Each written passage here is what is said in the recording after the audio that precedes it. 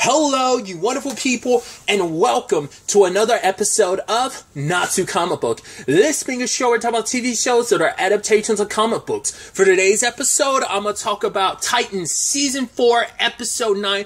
Great episode. A lot of really interesting things went down in this episode, so let's break it down. So, obviously, this being an episode that uh, completely focuses on Gar. That was my biggest. Because, once again, when episode 7 started, I talked about this. I was like, wait, did I miss something? They said Gar saved him, but we didn't get much beyond that. They're like, yeah, we heard Gar's voice, and that was it. So, I was like, oh, I guess we're just getting that story later. And it was like, okay, we are. So and we're getting that story now, understanding all that went down with Gar while he was separated from the others. He was pulled. He like he was like, bring me to the red, and he's been inside of the red, and then he, you know, at one point we see it. We we learn a little. I mean, in fact, we learn a lot about Gar's past. But obviously, he gets pulled out of the red by uh, a guy named Dominic, but he's Freedom Beast. Um, and it's like, hey, I brought you here because because he was like, at first I was like, oh, you in some different world? It's like, no, it seems like it's just, I mean, it seems like it's just their world because he's like, oh, we're at the top of like Kilimanjaro or something like that. And there's also like a lion bat, and you're like, wait, what? That's why I was like, is this some kind of like fantasy world or something? Like, I mean, it, it might have been like a little bit of a pocket dimension of sorts. It's just encapsulated there. But basically, the red, interestingly enough, kind of connects everything, all life all animal life across the multiverse. It's like so it's like oh so like the red's kind of like I guess almost like the speed force where it's like this conscience entity that just kind of exists all over the place. So I thought that was really interesting. So kind of having a better understanding of the red and who uh, Freedom Beast is. He's someone that's just like Gar. His family died because of. He has a different name for it, but basically it's the Green Plague. He's also someone that survived. And I even love Gar being like, but why is it when I turn into animals, I turn into green stuff? It's like, oh, that's psychologically speaking, it's because green is your favorite color, so you you kind of you transfer that over to some extent. It's like, yeah, it's been his favorite color ever since he was a kid. So it, I guess I guess you can almost make some argument that it's a, almost like every time Gar transforms, it's like he's keeping a piece of himself of who he is there. So he's almost like he, you know, because that was always his thing before. He would always kind of lose himself into the animals he would turn into because he couldn't control it. He's got way more control over it now. So, but it's still that subconscious thing of green because it's still me, you know? Obviously, that's the justification for it in the show. Like, obviously, he's a green animals because he's green in the, the comics and most iterations, you know? Um, because obviously, like in Young Justice, he got his powers very differently than he canonically usually gets them. I don't know if the way he got them is like the Green Plague and stuff. If that's how he typically gets them in the comics, but I know in Young Justice it's because M'gann uh, gave him a blood transfer, and you know Martians uh, have the power to shapeshift, so that's where Gar got his powers from. Either way, tangents and all that aside, it was just kind of interesting. Um, but we find out that Freedom Beast is the guardian of the red, and he's got this pro like it, the mantle was passed on to him from some guy named Mike, and um, it's something that's always been passed down. It gives him like the strength of like animals and stuff, and it gives him a prolonged life. So he's been doing this thing as the guardian of the red for decades. And uh, I thought was so interesting when they kind of uh, dived into it when he talked about the fact is that um, when he talks about how Gar is different from everyone else. There are many other champions. He references Animal Man. Animal Man. I know the name. I don't know if I know the character. But then he also drops Vixen's name. I was like, interesting. It's so funny because I guess like maybe in the comics, I don't know if that's a squad or not, or whether they're, but they're in that same lane because I don't I don't know if it's like this is like the end this is like the Beast Kingdom squad you know like how like the Bat family is the Bat family right? So I'm wondering or, or like the Soup family is the Soup family. I'm wondering is is Gar part of some like Beast Kingdom squad in like yeah, because it's like I never would have correlated that because of course you have characters like obviously we see it with uh, Freedom Beast, but you also throw in someone like Vixen and an Animal Man. It makes sense like their powers are like tied to animals and stuff. Vixen's powers she literally draws upon the the power of different animals. Gar can literally turn into different animals, and that's what makes him a little different. Isn't just like you don't just borrow the strength and call upon the strength of animals, you become them. So it makes you very different from like any other person. It makes you very unique, and I I thought was so interesting because that uniqueness also makes you very lonely because it is a power like like people have similar things. Yes, there's people out there in the world that have very unique powers and stuff like that, but your powers in particular are very unique. Uh, we also I can't also forget about the fact is that and they, they implement it in this episode, but Freedom Beast can also morph he could also fuse two animals together. Hence why Lion Bat's a thing because he did that himself, which I love Gar being like, oh, the weirdest power ever. Or like, I love hearing that come from you, mister. I can shapeshift into animals. You know, but to be fair, it's like I guess like shapeshifting in animals, it's it's it's it's normal stuff. Like being able to fuse two animals. I guess that's some other. I guess it guess I guess that's supposed to be the point too. Once again, like you are, you kind of got a weird power, and so for you to call someone else's power weird. But yeah, it's like there's a loneliness with like being having a very unique ability that you have, especially amongst other people. At least that I'm aware of. That the name drops that they had this episode of people once again because I like I know the name Animal Man, but I don't know if I know know the character at all. Um,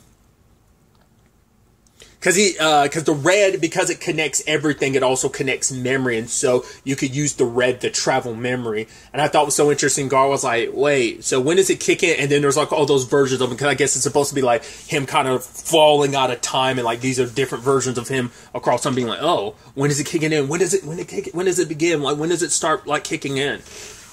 And he ends up being on the bus with uh Rachel and himself, and it's like, oh, you've always followed somebody, whether it's Niles, whether it's Dick. Like this time, you're in the driver's seat. It's up to you to kind of follow your own path and don't just like follow others. Become your, you know, he's always been the follower. It's time for you to kind of take charge and lead. He ends up running into Jinx. Because I talked about this in episode 7 because I went back and rewatched that last bit of episode 6 just remember where things exactly ended. Because I actually forgot that Jinx had died.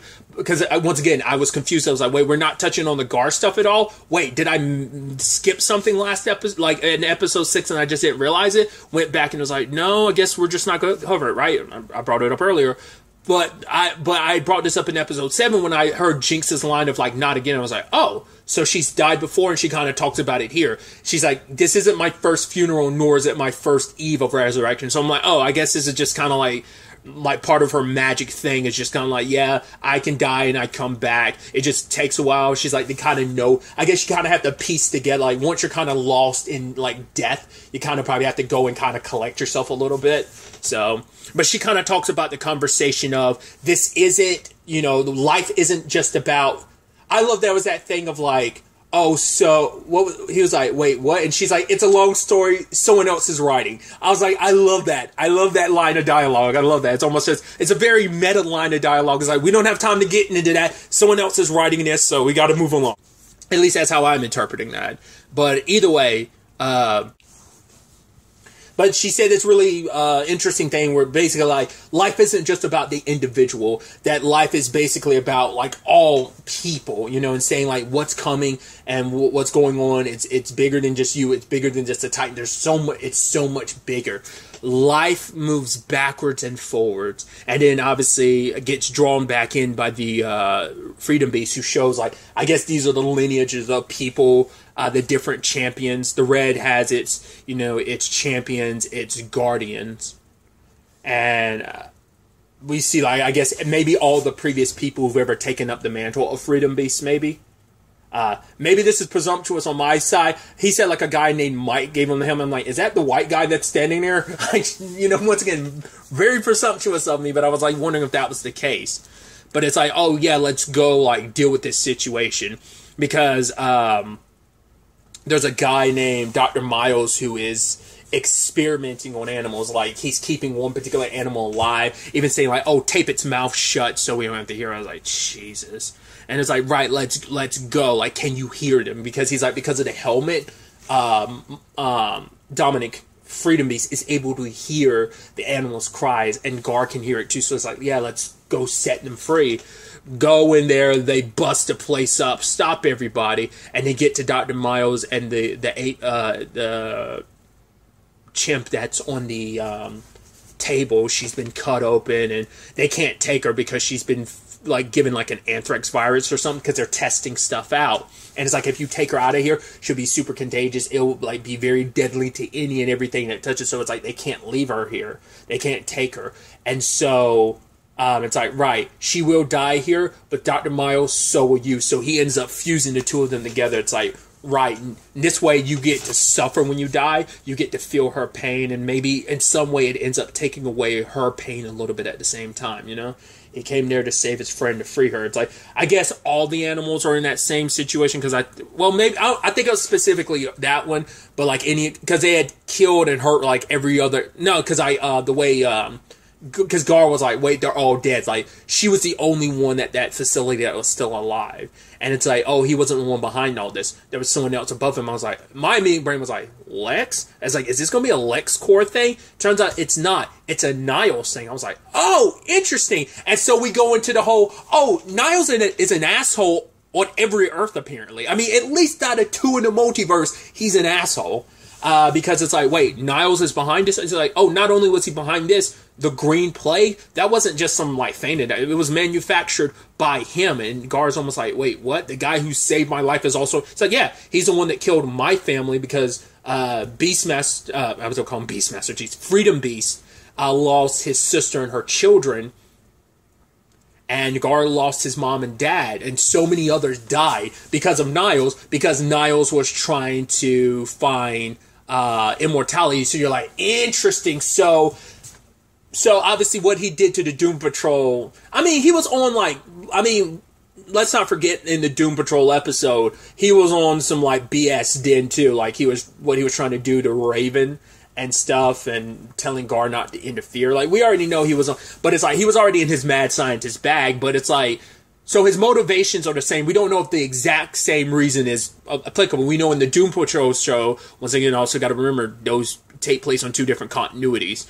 Uh, so the so on the Doom Patrol show, which is on Earth like 20, I can never remember. It's like 20, it's like 25, 26, or 27. We, we only know that because of Crisis on Infinite Earths. Because we know Titans takes place on Earth 9, I believe, if I remember correctly. Um, either way, uh, on that Earth, Niles did it for his daughter, Dorothy. So we don't know if that's the same motivation for Earth 9's Niles Caulder, but it's still the thing of they want immortality. They just went about it, but we don't know if the reasoning behind it's the same. But it's like, well, how would constructing a virus like lead to ever like lead to that? It's like, well, because he needed someone to survive it. All he needed was one person to survive. So I guess he figured like, hey, if I if someone if I engineer this and someone survived it, maybe that I could take the something in Gar's DNA, who ended up being the survivor, and apply it to myself, meaning I can kind of survive anything. Which is, I once again, no, despite his motivate, at least the Doom Patrol Niles Caulder, like we know it's about his daughter, so there is some sweet reason why he does it. Does not, once again, doesn't take away from him being a complete another asshole who destroyed so many lives, and we see that it isn't just on one Earth. You destroyed lives on another Earth you know, for your own selfish reasons. So it does. It's un, like, hey, it says you can understand why you do it. Does not make it right that you did what you did. You're still crappy for. And so it is a thing of right. So I even love that line where he was like, uh, Freedom Beast said, that's the problem with people. They're never quite who you think they are. At worst, they're like Niles Caulder who destroy. At best, they're like the Titans and are nothing more than a distraction. But you could tell that like bothered Gar hearing that. It's like, no, they're not. And he's like, you know what? I'm leaving because he's like, hey, I finally found you after all this time. I've been looking for you. I've been waiting for you. It's time for me to pass on the, the role of Guardian of the Red to you uh, almost like I can finally rest. So it's not like you have your altruistic reasons. You're kind of tired from doing it for so long, but or maybe it's more so like you are like the ultimate of ultimate champions. You know, eventually you'll pass the mantle on, but you're a very special case in so many regards, Gar. So it's time for you to take this mantle. But for him, it's like no, there's too much at stake the Titans. I need to get at my friends, my family. They need me. Plus everything that's going on in the world, they need me.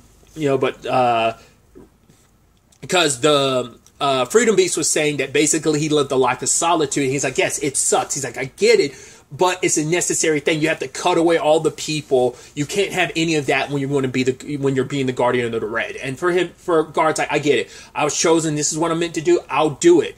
But I'm not going to abandon the people I love most. So I'm going back to him. It's like, you're not ready to travel through the red. He's like, for the first time in my life, I know I am ready. And he ends up doing it. Um, first and foremost, he had that intimate moment with himself as a kid when he was, you know, young. He was lost at the zoo.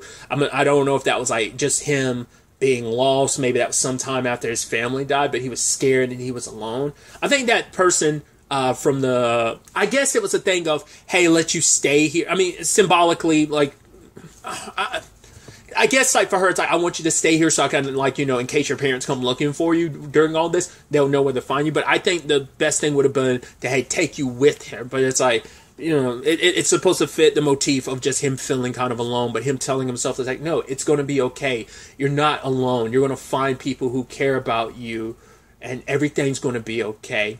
Get zapped through the multiverse, which spoilers I already knew about I mean, it's not even, but I kind of sadly got spoiled on it. I didn't watch this scene, but the scene is floating out there about like the multiverse scene at the very end.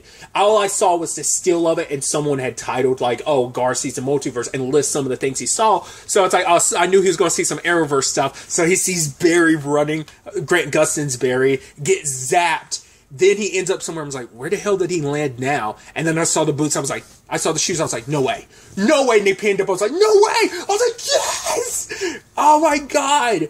Uh, Brec back as Stargirl at least one more time. I was like, that's so awesome. That's an amazing cameo, dude. I'm so excited by that. That's amazing. And he actually interacted with her too. I was like, dude, this is amazing. And even that line of him being like, I'm trying to find my family. She's like, no, I get it. I, know how important family can mean. And he's like, I think I, sense that you do. It's like she really does. I was like, oh, that's amazing. That I can only assume this is sometime after season three. It's like, oh, dude, her popping up as Stargirl one more time, one last time. That's that's so awesome, dude. That's so awesome. She got to like I don't know.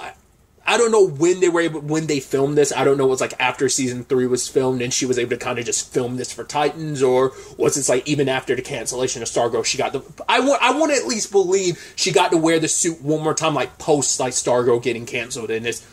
Um, either way, oh, dude, that's that was just so awesome. And she's willing, like, she's trying to help him and everything.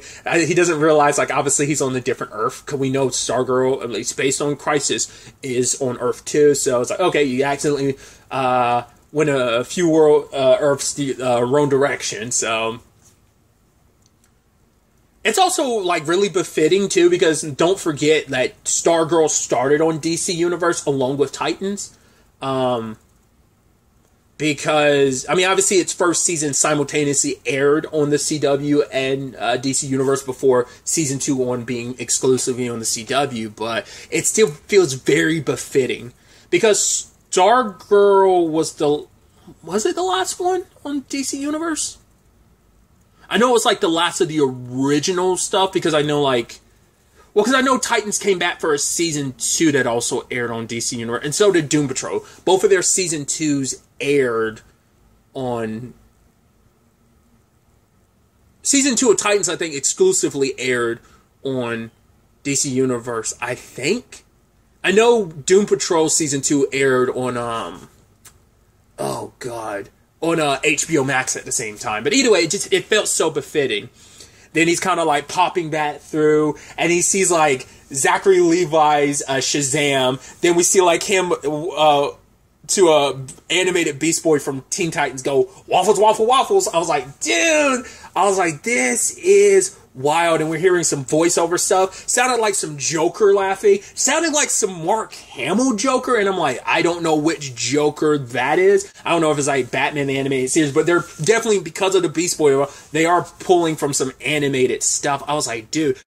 Really quickly, I want to go back and correct myself. I don't. I'm just going to slap this in here somewhere. Watching this scene again, it was I forgot to talk about the fact that they showed Swamp Thing and listening to some of that stuff. I thought I heard Harley. It is Harley. It sounds like it's Kaley Cuoco, so it sounds like it's the Harley Quinn. So I'm like, oh, so it isn't just Stargirl, and obviously it's like, dude, it's like all the DC Universe properties that it's it felt like it's like oh with Titans ending because this was the first show out the the gate, so it, it's it's all kind of like coming full circle. So it wasn't just a Stargirl. So like I forgot about the Swamp Thing and listening to it now, like I said, it sounded like that was Harley Quinn. Like I said, specifically uh, Kaley's um, Harley from. Um, from uh oh god uh, from the Harley Quinn show.